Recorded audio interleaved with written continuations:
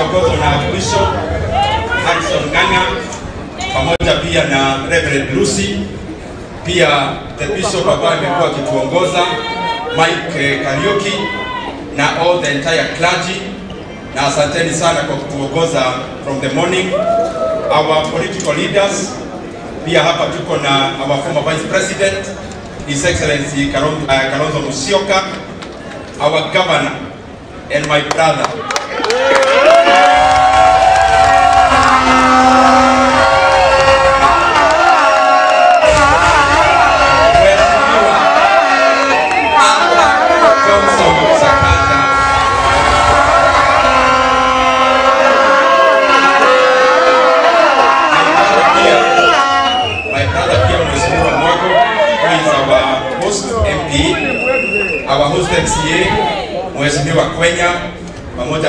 all the other MCAs, viongozi wote wa Nairobi Business Community tukiongozwa na Bwana Ben Mutahi na pia chairman wetu kwa maombi ya leo Mheshimiwa uh, Bwana Stephen eh, Wampia na viongozi wote wa Nairobi Business Community, wanabiashara wote wa Nairobi na Kenya. Bwana Yesu asifiwe. Wanabiashara woye, asanteni sana. Mimi nitakuwa mchache kwa maneno na mheshimiwa bishop wetu wa bishop, nimeomba niongee kwa machache na nikiwa wa kwanza, kwa sababu tuko na hafla ya masomo kule Uasin Gishu County, na kwa hivyo pengine nitaondoka kabla tumalize. Ya kwanza, nataka nitambue sana wanabiashara wa Nairobi na bishop, nikueleze, walikuja kwa ofisi yangu wakiongozwa na bwana Mutahi na pia chairman wa maombi ya leo, na tuliongea mambo mengi, na ile nimejionea siku ya leo, I can tell you authoritatively I could never have been at a better place today than here.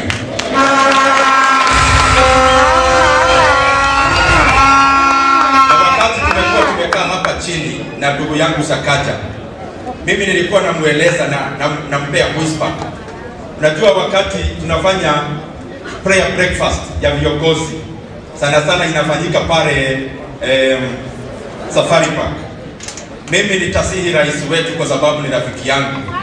The kind of anointing we have seen here, we need a power breakfast here in Nairobi.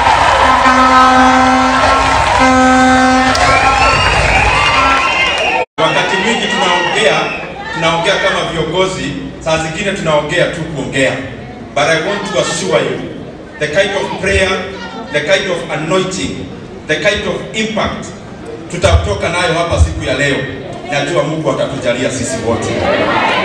Na mimi niongeze pia pale Bishop amesema tunatakia wanabiashara all the best kwa maombi ya leo.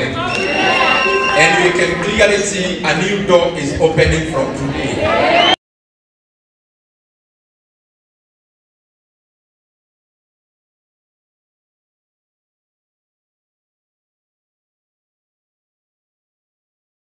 Kuja na ina, ina affect maneno ya wanabiashara ambao wako hapa, na ya moja ni kitu inaitwa currency, kwa sababu bidhaa mingi ambazo tunashiriki nazo kuuza hizo bidhaa zinatoka kutoka nje ya Kenya, na mimi nashukuru sana kwa zile policies ambazo tumeongozwa na rais wetu kuweka. Tumeweza kuona ya kwamba shiriki ya Kenya inazozana na ya US na saa zingine ya US inaanguka chini. And I want to assure the people of Kenya from where I sit, also as the chairman of budget, the Kenya shillings, kwa ile mikakati tumeweka, najua itaendelea na kunawiri, na kuna sababu. Ya kwanza, tuliona ya kwamba ile maneno inafanya shilingi ya Kenya i lose value, ni kwa sababu tuko na vitu mingi tunatoa nje kuliko zile tunapeleka nje, na tuna kitu tunafanya. Ya kwanza inaitwa import substitution. Iko bidhaa mingi tunaweza kuuza hapa ambazo tunatoa nje, na hizo sana sana, ukiangalia maneno ya chakula, edible oils is the number one import in the Republic of Kenya. Ile tumefanya katika budget ni kuweka hata mbegu ya sunflower, zile zinasaidia ukuzaji wa edible oils so that we continue substituting our imports kwa zile bidhaa wa Kenya wanakuza.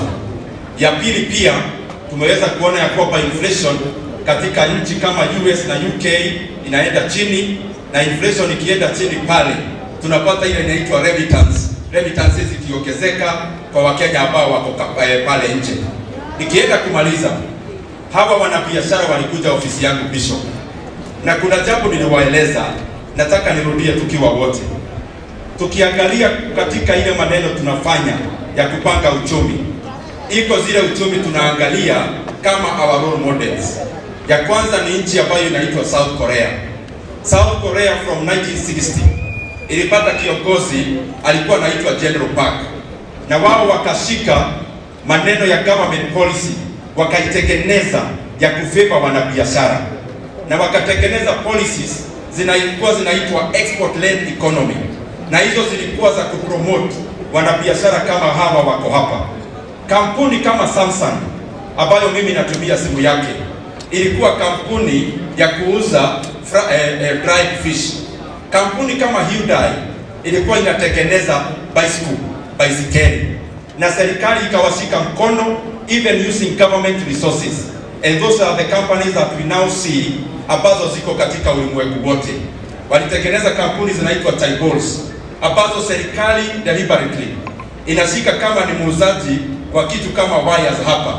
Serikali inasaidia hiyo kampuni, inakuwa manufacturer, inauza hapa Kenya, inauza nchi jirani, inauza ulimwengu wote, and I am sure we are headed there. The second country ni kampuni ya China. China uki, kama ukienda huko before 1978 ukekopesha mtu wa China pesa kama Mkenya, ukefika pale Beijing mtu wa China anakupigia saluti, lakini walianzisha maneno ya uchumi waka, tafadhali tuachane na yule mwanabiashara, wakaweza kuweka policies wakakuza uchumi ya China and I am sure the kind of policies tunaweka tunaegemea hapo.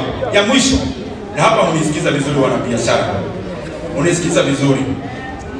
Hawa wanabiashara viongozi wenu waliniomba ya kwamba wanataka bridge ya nyinyi kama wanabiashara Wanyamakema na the entire Nairobi, the bridge between yourselves and the government. Na mimi niliwaambia hivi, mimi kama Dede Nyoro, angalau mimi sikuwa nimefika hii level yenu. Nilijisomesha high school na maneno ya kuuza mtumba pale Thika. Kwa hivyo niliwaambia maneno ya kutafuta bridge ya nyinyi na government. Mimi nimejiofa na nitafanya kazi yenu kufikisha matakwa yenu kwa serikali.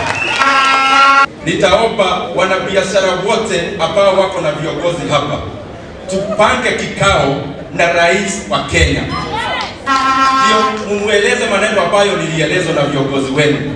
Ya kwanza, kuna tatizo ya KRA. Ya pili, kuna tatizo ya Counterfeit Authority. Hiyo maneno lazima tuwaongee vizuri, kwa sababu tunataka hawa wanabiashara waendelee na kupata nafuu kwa biashara zao, na mkifanya hayo, this is my last point. I want to take you to one country nikimaliza, na wanabiashara mnisikize. Tunasoma katika magazini inaitwa Forbes ya kwamba one of the richest people in Africa ni mtu anaitwa Aliko Dangote. Kuna mwingine anaitwa Abswama Rabiu wa kule Nigeria. Hawa walianza kama importers. Dangote started as an importer of rice, as an importer wa bidhaa kama zile tunafanya hapa kwa wana, hawa wanabiashara. Rabiu pia alianza kama mwanabiashara wa imports, kuleta bidhaa kama trader, na serikali ikawashika mkono na wakaelezana ya kwamba yes, import iko na faida, na that is the reason why watu wanaleta bidhaa badala ya kutengeneza hapa. One of the reason nataka tuende na wana Nyamakema na the entire Nairobi tukaone rais wetu. Mimi niko na ombi moja, kama wewe ni mwanabiashara unauza bidhaa fulani, ni vizuri tueleze serikali from the apex ya kwamba if you are facilitated na vitu kadhaa ama kadhaa, utaacha hata kuzileta, you manufacture inside the country, you, you employ Kenyans and you get even much more profit. Hawa watu ambao nimetaja kama huyo Dangote alienda aka increase akaweka maneno ya kumanufacture sukari mwenyewe, akaenda akaweka kumanufacture cement. And you know the profit of a businessman sio faida yake. profit of a businessman is a common good utility, kwa sababu wewe kama mwanabiashara hata ukipata bilioni moja you can only consume too little. Kwa hivyo hiyo pesa ingine unapata kama capital inasaidia nchi sana kuliko vile inakusaidia, na that is why tuliona Dangote aliweka kiwanda ya cement, sasa anaweka the biggest refinery in Africa, maneno ya oil. I can see here at Bishop, even these traders, some of the importers becoming manufacturers in the Republic of Kenya. I can see from here Nyamakema, mtu ambaye ana deal na textiles, yeye ameweza kutengeneza textile yake hapa Kenya, anauza Kenya, anauza nchi jirani, hata anauza ng'ambo. And that is what we wish you. We wish you all the best and may God bless you all.